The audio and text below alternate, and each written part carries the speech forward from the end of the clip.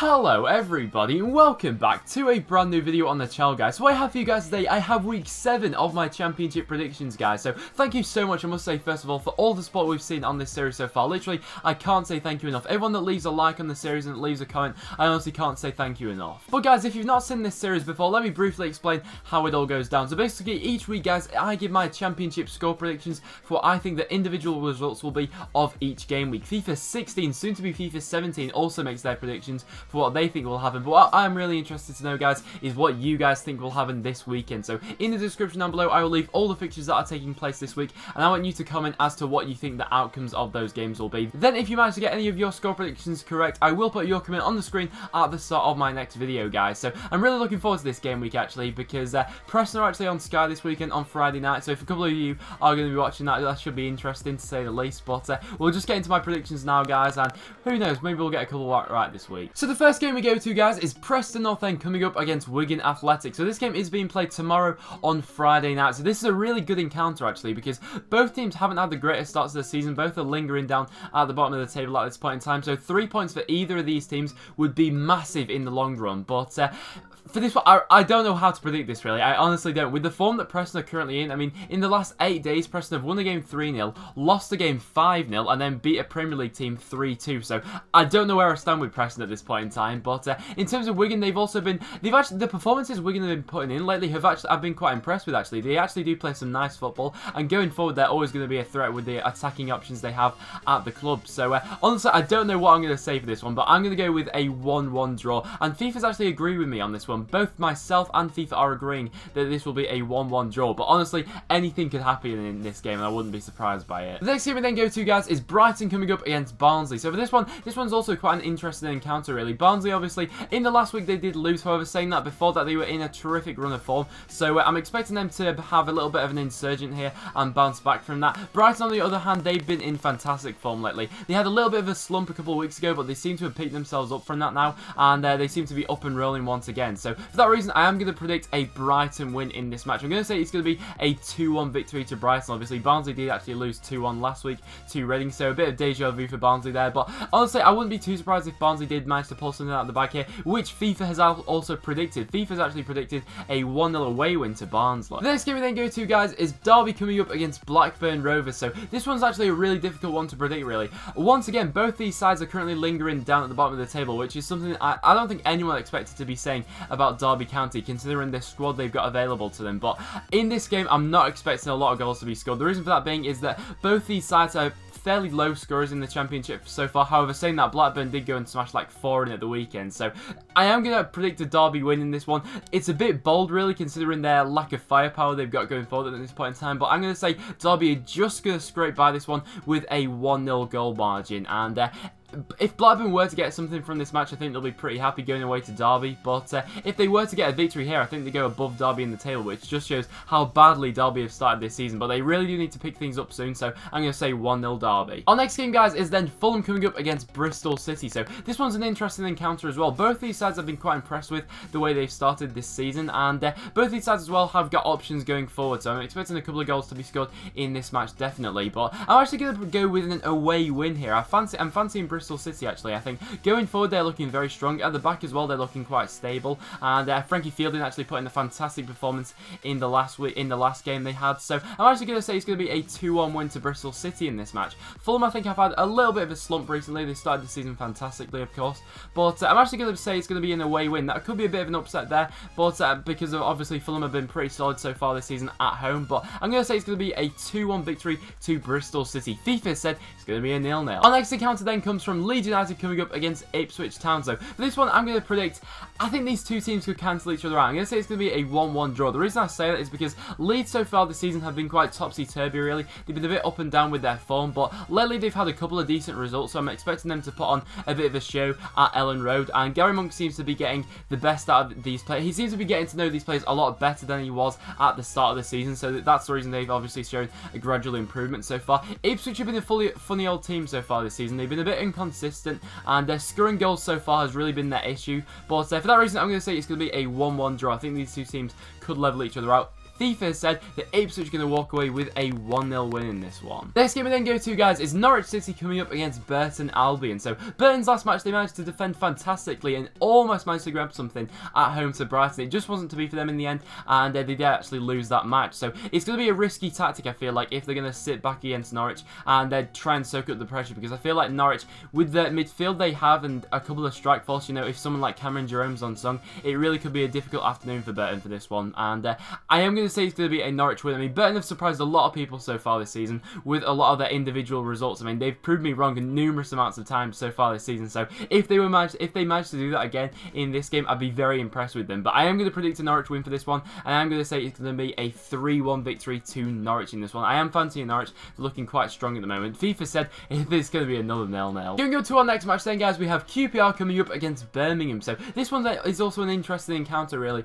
QPR so far this season have been I don't really know how to sum up their form really. I mean, not too long ago they were getting beat 6-0 by Newcastle. Since then they managed to, I suppose, show a bit of an improvement at the weekend. However, they did lose that game as well. So uh, at the moment, QPR are in a bit of a slump. But I'm actually going to say this one's going to end as a draw, even with how impressive Birmingham have been looking lately. But uh, I'm actually going to say some goals are going to be scored in this match. So I'm going to say this one's going to be a 2-2 draw. I'm fancying quite a lot of goals to be scored in this match. And uh, this could be one of the games of the weekend. But uh, FIFA actually predicted a 1-0 win to QPR. So that would be a massive result if they were to, able to bounce back from a couple of their poor showings lately. But interesting matchup this one. Then our next matchup comes in the form of Reading coming up against Huddersfield. So this one as well is a difficult one to predict. I mean, McCleary will be suspended for this match, so I think that definitely will be a loss for Reading. And every time I seem to predict a Reading loss, they always seem to somehow do the opposite and manage to win the match. They've actually won their last two matches with a 2-1 goal margin. So for this one, it's hard to bet against Reading. However, with Huddersfield obviously being top of the tail at this point in time, it's a really tricky one to predict. And I'd be very interested to see how actually these two styles of these two different managers actually interact with each other because it's a very in interesting tactical matchup this one. Obviously with Jaap Stam's sort of possession style coming up against Wagner's high-flying Huddersfield, this really could be an interesting and engaging match. So I'm actually going to say this one's going to be a 1-1. I actually, I think this is like the first time this season really that I've not predicted a Huddersfield win, but with the form Reading are currently in and what they've been showing lately, I fancy them to get a point in this one. If they can get another 2-1 victory, that will really push them up the table and could set a solid foundation for the rest of the season. But I'm going to say this one's going to end as a level 1-1. FIFA said it's going to be another nil now. Coming on to our next match, we have a big matchup here. This is Rotherham going up against Cardiff City. So this is a, yet again a massive matchup at the bottom of the table. And if anyone was to take three, all three points in this match, that would be huge for the rest of the season. And uh, maybe, you know, come the end of the season, these are the sort of matches which can be seen as real six pointers come the end of the season. So this one, both teams are going to have to really be going for it. But with the form that Cardiff are currently in, I just can't back them to get anything from this match. So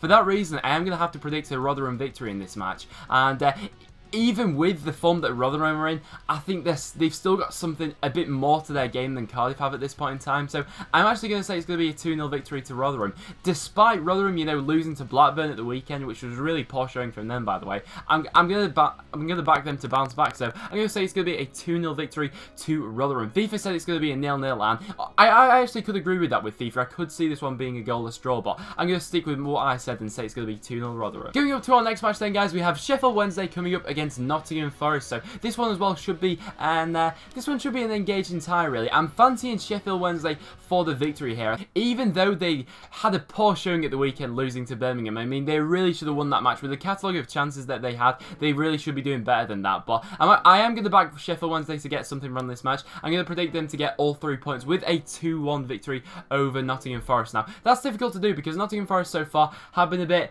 You never really know what to expect from Nottingham Forest, but their recent results, obviously, they lost um, in midweek in the Cup to Arsenal. I mean, you can't, you couldn't really expect much more than that. But uh, they're showing it the weekend against uh, Norwich. Their second half performance didn't fill me with a lot of confidence for them. So I am going to back Sheffield Wednesday to win this one by a 2-1 goal margin. So could be could go either way this one. FIFA said it's going to be another nil-nil. And then to our second to last match, guys, we have Wolves coming up against Brentford. So for this one, I'm fancying these two teams this is a difficult one as well because Wolves are coming off the back of a fantastic victory, obviously managing to beat Newcastle in midweek, but Brentford on the other hand are coming off the back of a 5-0 victory as well, so both these teams are going into this in terrific goal scoring form, so it really is a tough one to predict, so for that reason I'm going to say it's going to be a draw. I can see these two teams, I can't really split between them as to which way I would fancier team to go. So I'm going to say it's going to be a 1-1 draw. If I had to predict one of these teams to win, I'd probably just about back Wolves, but who knows? I am going to say it's going to be a 1-1 anyway. I'm going to say this one's going to end as a draw, guys. So it'll be very interesting to know actually from you guys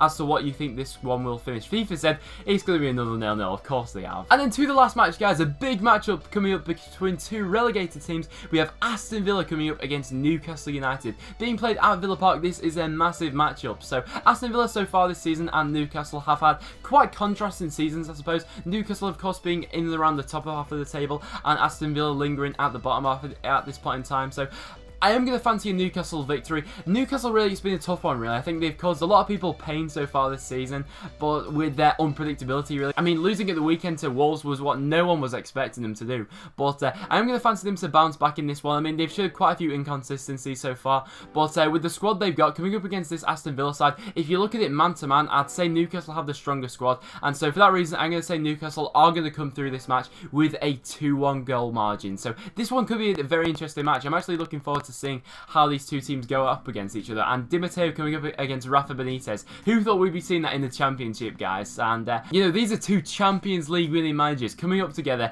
to face each other in a Championship matchup. You know, that's just insane. And that just shows how much the Championship has grown in recent years, guys. But I'm going to fancy Newcastle for this one. I'm going to say it's going to finish 2-1 to Newcastle. Whereas FIFA said it's going to end as a 1-1 draw. So now, guys, I will now wrap it up for this video. So thank you so much for watching. So make sure you get your comments in and your score predictions in the comments down below and uh, leave any reasons why you think any club could do that. Also as well, if you want to leave a comment as to how your team played in the League Cup in the week, I'd be very interested to know. And also as well, what do you think of the Cup draw? I'm recording this currently before the Cup draw has been made, so I currently don't know who's got who, but if you do want to leave a comment for that, feel free to in the comments down below. But like I said guys, I will now wrap it up for this video, so thank you so much for watching. So if you have enjoyed, make sure you do leave a like on the video, it is always massively appreciated. Make sure you subscribe for regular championship content. Make sure you follow me on Twitter, I always tweet I upload a video, therefore you'll never miss a video ever again, guys. But apart from that, thank you so much for watching, and I will see you all in the next one.